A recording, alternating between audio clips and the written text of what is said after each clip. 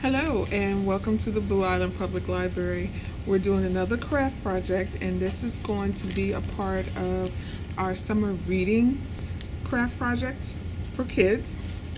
This is a paint by sticker, which is a craft that you can pick up at amazon.com.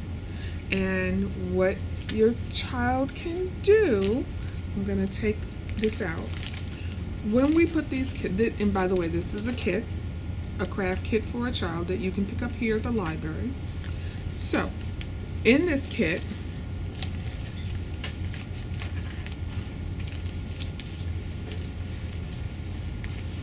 in this kit, if I can get it out properly, okay, there we go.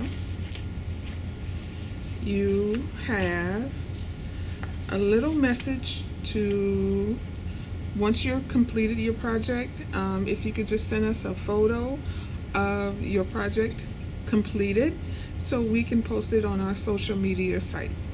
Okay? That's that. Then the instructions. It's pretty simple. It's almost like coloring by numbers, but this is just placing stickers by numbers.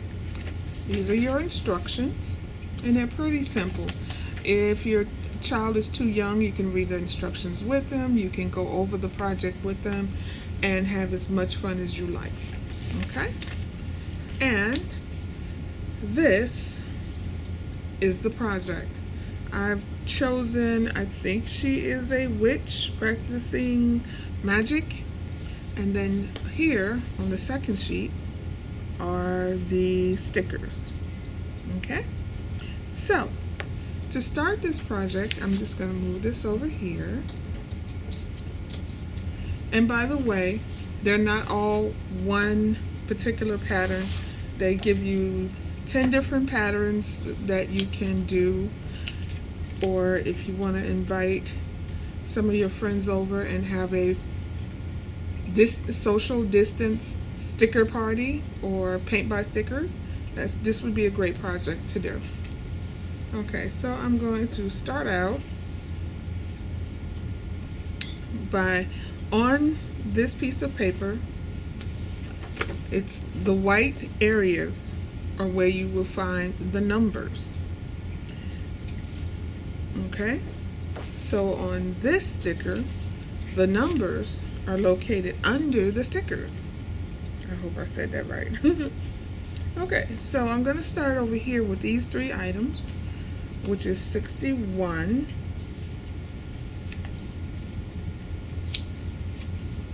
And you just peel it off. And you want to get the sticker, eh, sticker in the same shape that the actual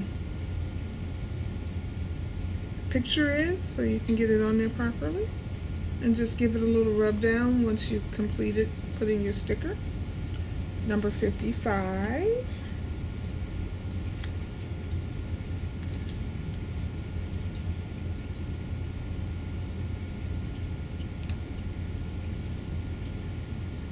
And number four.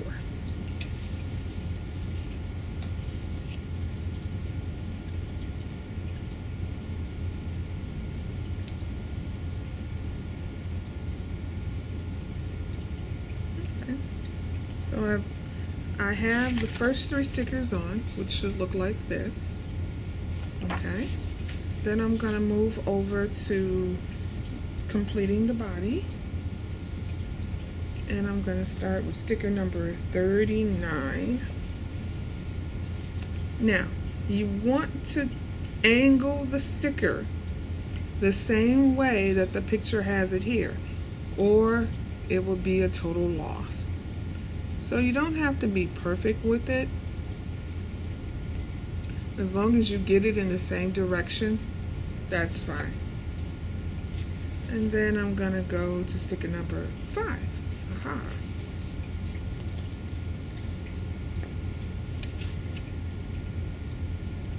And then I'm going to turn it in the same angle. I like to shift my paper around so therefore I can get it stuck on the paper pretty well. Again, it's not going to be perfect, perfect.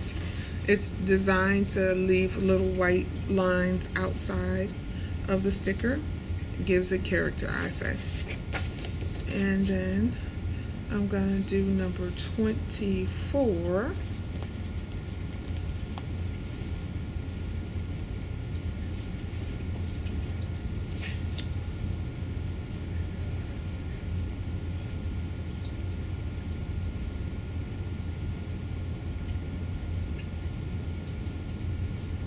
Number six.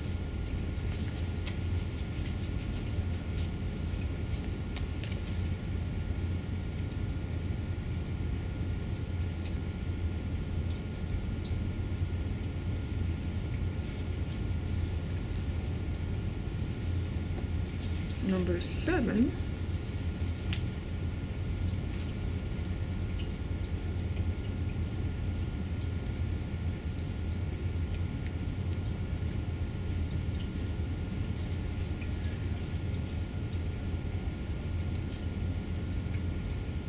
Number three.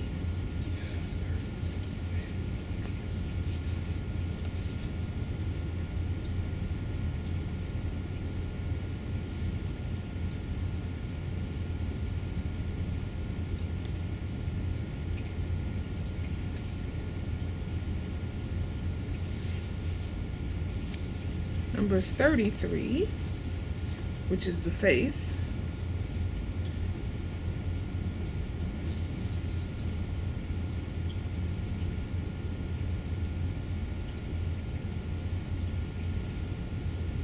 Number 10.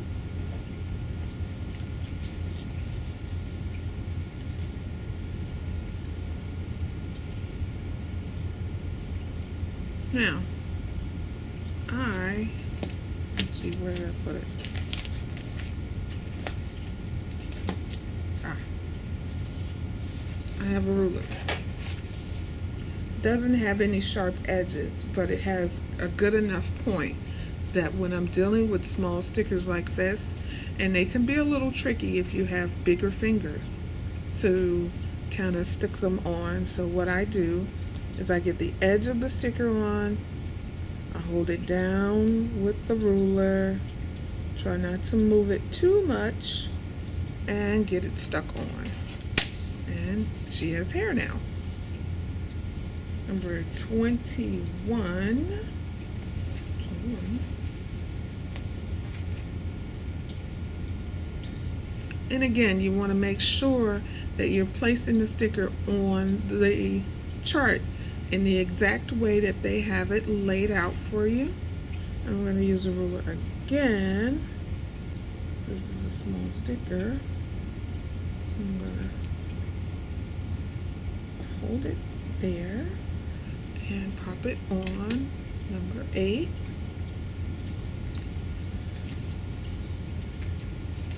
I think I'm getting good at this. okay, number eight. Right next to it. Number 12.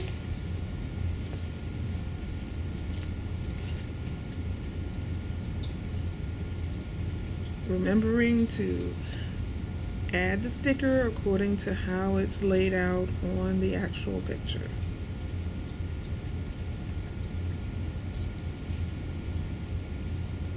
This is actually a wizard.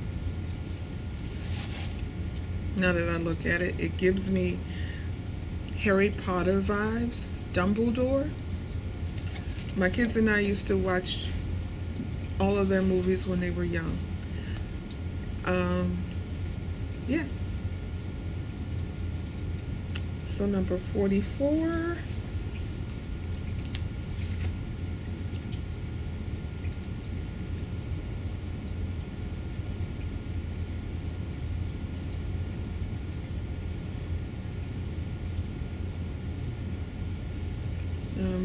Number 14.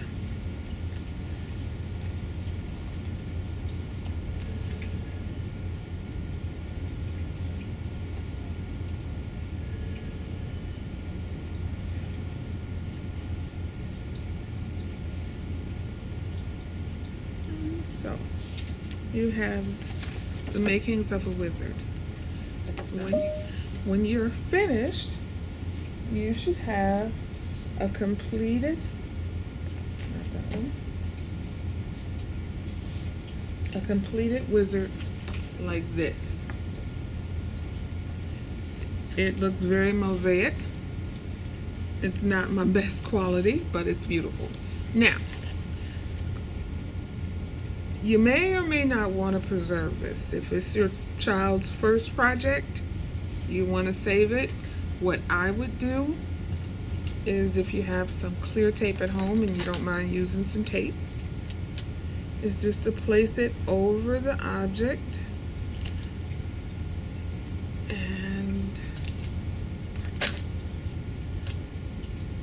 this way the stickers don't raise up and they can actually hang the artwork. Okay.